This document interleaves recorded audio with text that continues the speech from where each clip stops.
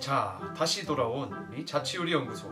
굉장히 오랜만이지? 다들 시험 잘 봤나? 망했을 거라는 분들이 많을 것 같기에 오늘 좀 기분 전환 겸 화끈한 요리 준비했는데 바로 뭘까? 바로 바로. 한국인의 소울푸드. 김치찌개를 끓여볼 거야. 솔직히 김치찌개 진짜 잘 끓이면 인기 많거든 아무튼 오늘 자취생의 입장으로 김치찌개를 한번 끓여볼 건데. 시간 지체할 그게 없다. 바로 재료 찾으러 가볼게. 고고. 가보도록 하겠습니다. 김치찌개에 필요한 게 뭔가요? 김치겠죠 당연히. 김치. 그리고 뭐가 있을까 또? 칼칼한 땐 파가 있어야죠. 네, 파 꺼내고. 네, 그리고 양파. 햄을 넣을까요? 참치를 넣을까요? 근데 저는 오늘 참치가 땡깁니다. 참치를 넣겠습니다. 네 지난번에 제가 먹고 죽을 뻔했던 이 청양고춧가루 꺼내고 또 설탕. 김치가 설탕이랑 만나서 아주 좋은 작용을 한다고 제가 지난 시간에 말씀드렸었나? 아무튼 설탕 꺼내고 PPL 아닙니다. 김치를 볶을 때 필요한 식용유 꺼내고요. 그럼 또. 어. 와우. 네. 오늘 육수로 쓸 이 깍두기사의 사골곰탕. 비상용으로 하나 꺼내놓겠습니다 자 재료들을 이렇게 꺼내봤어. 와 진짜로. 오늘 재료들은 진짜 으리으리해. 자 양파. 찌개 먹을 때 양파 씹혀야 또 제일 맛있거든. 또 양파 친구.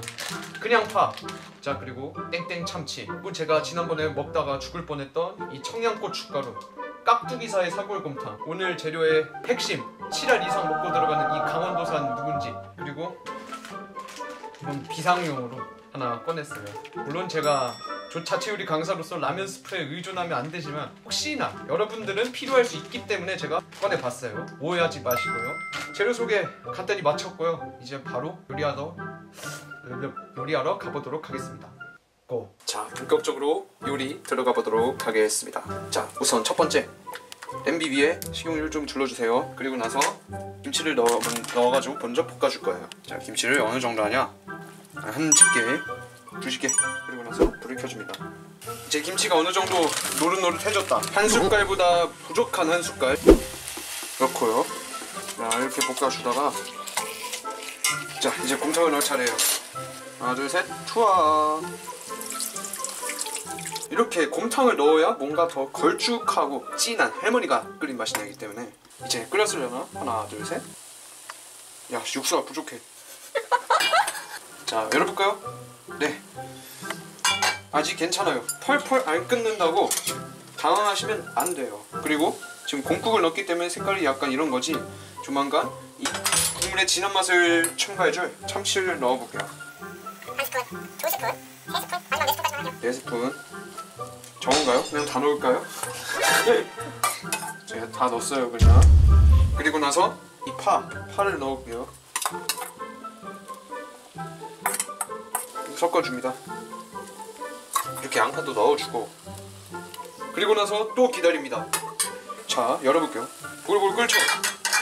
이제 가루를 넣을 타이밍이 된 거예요 자 그리고 이제 여기서 여러분들은 간을 한번 보셔야 돼요.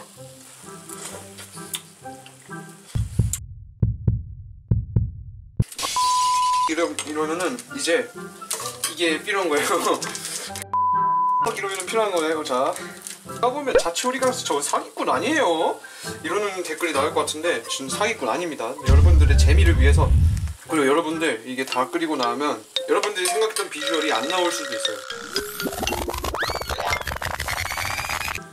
왜 하얗게 쓰- 음...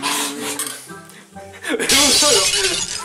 왜 PD가 왜 우는 건지 모르겠네요 자, 자, 여기 편집해주고 고춧가루 좀만 더 넣을게요. 제가 간을 계속 맞출 거예요. 아니 아니 태연아 좀 더. 그게 왜 웃나? 괜찮은데? 아니, 괜찮은데? 마라탕이야 마라탕 좀 더 섞자. 아니, 진짜 마우스 보여 근데? 아니? 아니 간을 그러니까 맞... 그리고 너무 고춧가루를 넣어. 나 아무것도 안 눌렀는데 진짜 오늘. 오늘 좀 재미난 건 많이 나오는데. 자, 오 보세요, 여러분들. 저는 진짜 지금 제가 생각하는 간이 나오긴 했거든요. 자, 라면 사리도 투하해 보겠습니다.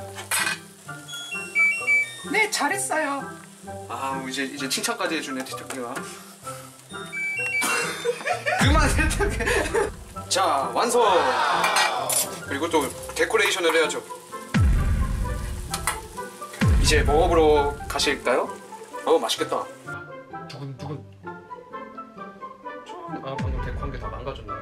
아 아무튼 맛있겠다. 지체할 시간 없이 바로 먹어보도록 할게.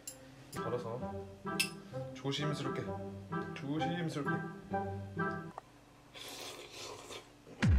어, 어, 아프다. 어, 어.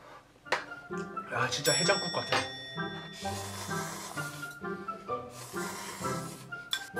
제가 그리고 참치를 넣었잖아요. 참치를 넣으니까 어떻게 국물을 퍼도 이렇게만 퍼도 계속 알갱알갱 씹히는 게 있어요. 참치. 그게 진짜 찌개가 허전하지 않아서 좋고요. 그리고 이 강원도 김치가 최고예요. 진짜 뼈까지 어머니의 손맛이 느껴지는 그런 김치예요, 진짜. 아, 진짜 너무 맛있게 먹어서 지금 계속 트름이 나와서 그것 좀 양해 부탁드리고 오늘의 요리는 하찮지만 하찮지 않은 김치찌개 네 하찮지만 하찮지 않은 김치찌개입니다.